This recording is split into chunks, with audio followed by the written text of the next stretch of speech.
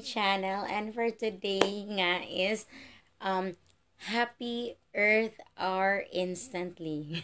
Kasi nga, nagka-blackout. So, it's totally one hour na since nag-start ang ating brownout ng ano, usually we say brownout, pero blackout talaga siya. Whole Cebu, Bohol, and Negro. Uh, Leyte pala, Leyte. Kasi daw may nasira yata. So, hopefully, maayos naman. Ano, so, biglang nagka-earth R, no? Tapos ngayon, eto na mamaypay. Papaypayan natin yung aking mahal na asawa, ba diba? So, syempre, andito tayo sa kwarto.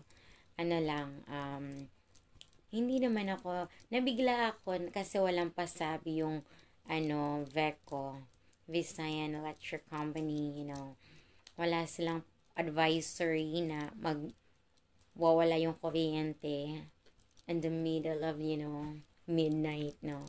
12.10 ata nag-start, no, yung walang kuryente. So, Sabado na ngayon. So, patience lang. At saka, syempre, ano lang muna, tsaga-tsaga sa pagpapaypay. Lalo na dyan sa may mga babies. So, ayan, konting tiis lang mga moms, mga dads, you know. Ganun lang talaga ang buhay.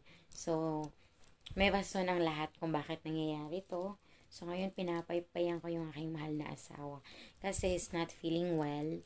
Yun nga, um, pag hindi siya nakakain sa tamang oras, So, yun. Sumusumpong yung kanyang chan.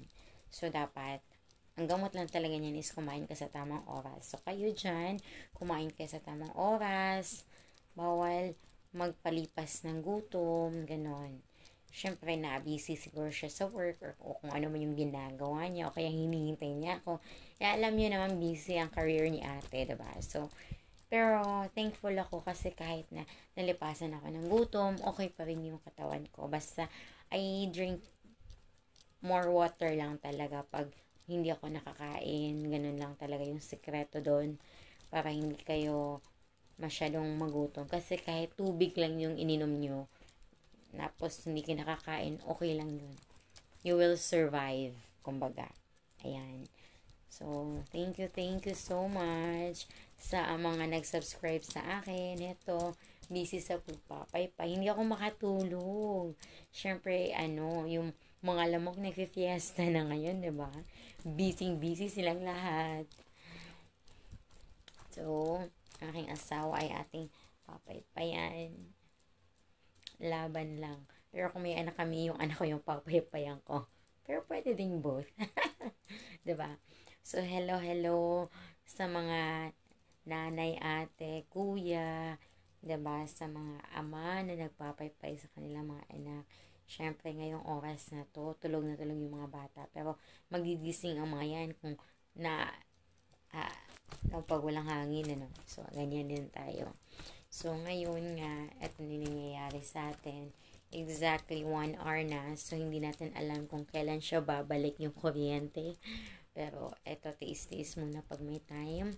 So, huwag muna tayong magreklamo, ano. Instead, pray na sana maging okay yung lahat, sana bumalik na yung kuryente, sana walang nangyaring masama kung saan man yung pinaka main na kuryente talaga natin, ano. Kasi, hindi lang siya whole Cebu, kundi pati sa Bohol, kundi pati na sa Leyte. So, ayan hindi ko pa alam kung yung Ormo kasi nabasa ko lang din dun sa ano Sunstar dun sa um, mga balita sa Facebook, di ba? Dun sa mga ano. Ayan, so nag-advisory naman si ano na they apologize kasi hindi nga sila nakapag-inform na mawawalan tayo ng kuryente. So, ayun kahit magalit naman kayo, wala naman tayong magagawa, no? Kundi ang maghintay na lang. Maghintay ka lamang, ba? Ganun, ganun lang. So, pay-pay mode muna ang asawa, no? Kasi kawawa naman. Ayan. Siyempre, dapat patayin nyo yung lahat na naka-plug. Pati na yung aircon nyo. Kasi pag umilaw, bumalik na yung kuryente, tataas yung bill nyo. So, dapat naka-turn off lahat yan. Sa kanyo ibabalik pag may kuryente na talaga. Okay? So, that's all for today na. So, kailangan nating magbabay kasi magko-concentrate ako sa pag-alaga ng aking asawa. Okay? Thank you so much, guys. Keep safe, everyone.